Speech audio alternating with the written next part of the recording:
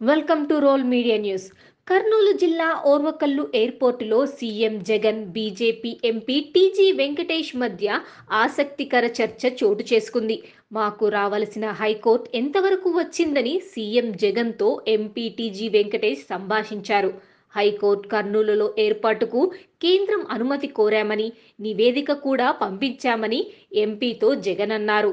High court ప్రకటనపై CM జగన్కు MP TG Venkatesh కృతజ్ఞతలు తెలిపారు. మరిన్ని అప్డేట్స్ కోసం సబ్స్క్రైబ్ చేయండి. Roll Media TV.